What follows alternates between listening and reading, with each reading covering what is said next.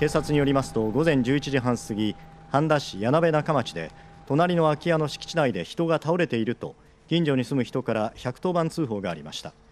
警察が駆けつけたところ20歳くらいとみられる男性が仰向けの状態で倒れているのが見つかり現場で死亡が確認されました。男性が倒れていたのは空き家の敷地内にある小屋の前で遺体に目立った外傷はなく警察は身元の確認を進めるとともに事件や事故の可能性も含めて詳しく調べています。